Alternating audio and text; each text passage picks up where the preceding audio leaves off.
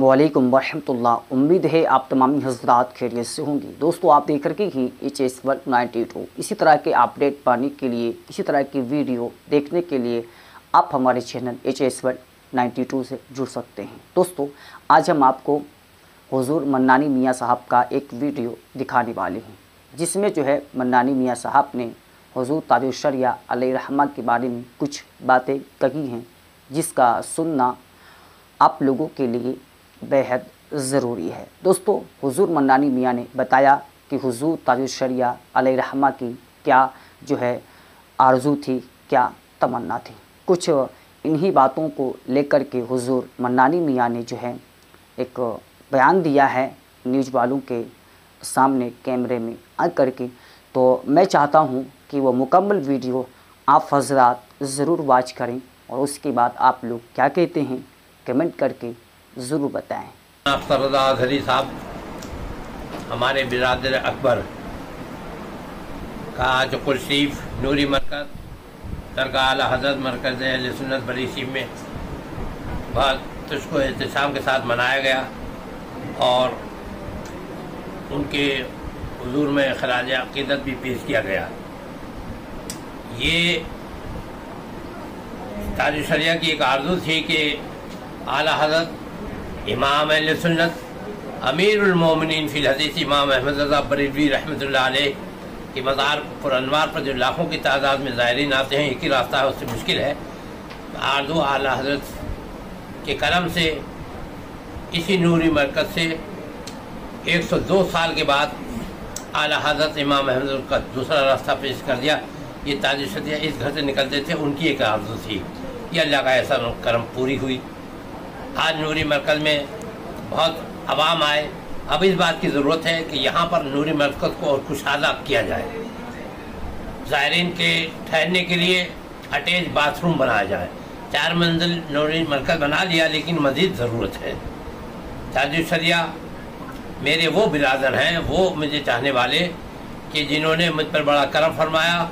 सरकार मुफ्ती आज़म, जो मेरे पीर हैं, मेरे करीम हैं, आला हर के शहजादे हैं, उनके पास ले गए और कहा कि मैंने इनको पढ़ाया तो सरकार मुफ्ती आज़म ने कहा कि इनके नाम की खिलाफत अगर लेनी है तो ताज शरिया ने मेरा नाम मोहम्मद मन्नान, रजा मन्नानी, इबन मुफसल आज़म जिलानी ताज शरिया ने खिलाफत नामे पर मेरा नाम लिखा और मेरे, मुझे खिलाफत से नवाजा सरकार मुफ्ती आज़म हिंद ने।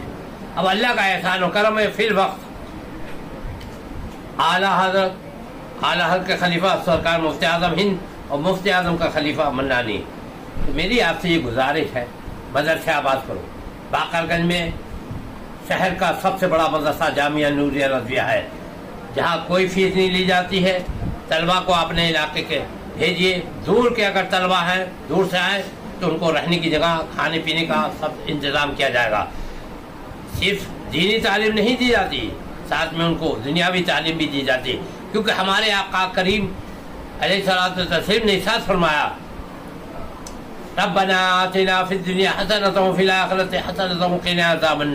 हमारी दुनिया भी अच्छी हो, आखिरत भी अच्छी हो। उसी को लेकर के सरकार के कर्म से ये जाम नूरिया रजिया हजूर की मोहब्बत से माला माल है तो वहाँ पर दुनियावी तालीम भी है, दुनिया भी अच्छी हो और आखिरत भी अच्छी हो। तो इस तरीके से हम लोग आगे पढ़ रहे अलहयात इस्लाम इस्लाम की ज़िंदगी इल्म है।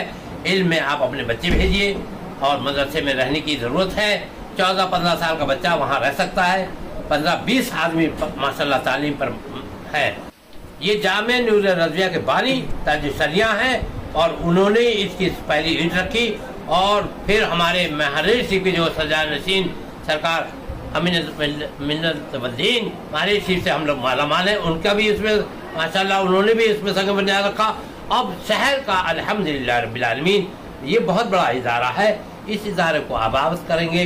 तो अल्लाह का एहसान करम है कि इल्म की रोशनी फैलेगी। इल्म ही से वास्ता होगा। इल्म से आदमी रोशन होगा। ये जामिया नूरिया का मतलब नूर फैलेगा, अंधेरा दूर होगा।